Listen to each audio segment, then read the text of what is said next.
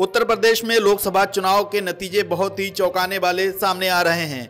UP में India गठबंधन करीब 35 सीटों पर आगे चल रहा है। यहाँ भाजपा को बड़ा झटका माना जा रहा है। यूपी में पिछली बार भाजपा की करीब बासठ सीटें रही थी। इस बार इंडिया गठबंधन यहाँ सुबह से कई सीटों पर बढ़त बनाए है। अमेठी से बड़ी खबर सामने आ रही है जहाँ कांग्रेस नेता किशोरी लाल शर्मा तेईस हज़ार वोटों से आगे चल रहे हैं। अमेठी से भाजपा प्रत्याशी स्मृति ईरानी किशोरी लाल शर्मा से पिछड़ गई हैं। इसी तरह बरेली से भाजपा प्रत्याशी छत्रपाल गंगवार सुबह से ही बढ़त बनाए हुए हैं। छत्रपाल गंगवार सोलह हज़ार अट्ठावन वोटों से आगे चल रहे हैं। बरेली में समाजवादी पार्टी के प्रत्याशी प्रवीण सिंह एरन सुबह से ही छत्रपाल गंगवार से पीछे चल रहे हैं और उन्होंने किसी राउंड में बढ़त नहीं बना पाई है।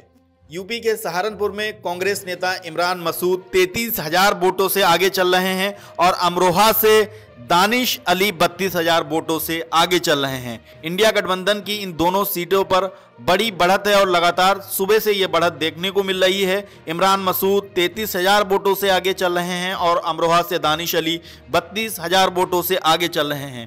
रामपुर में समाजवादी पार्टी के प्रत्याशी मोहिबुल्ला नौ हज़ार चार सौ नवासी वोटों से आगे चल रहे हैं और संभल से समाजवादी पार्टी के नेता जियाउर रहमान बर्क ने पाँच हज़ार सात सौ बानवे वोटों से बढ़त बनाई है। कराना जो यूपी की सबसे चर्चित सीटों में से एक है, यहाँ से समाजवादी पार्टी की प्रत्याशी इकरा हसन मामूली बढ़त लिए हुए हैं। इकरा एक वोटों से आगे हैं। गाजीपुर से बड़ी खबर है, यहाँ मुख्तार अंसारी के भाई अफजाल अंसारी दो वोटों से आगे चल रहे हैं। गाजीपुर और कैराना ये दोनों चर्चित सीटें हैं और यहाँ से सपा के दोनों प्रत्याशी बेहद मामूली अंतर से आगे चल रहे हैं।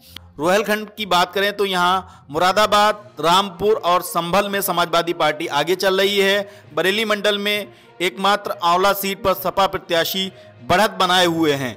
बरेली बदायूं, शाहजहांपुर और पीलीभीत में भाजपा प्रत्याशी आगे चल रहे हैं।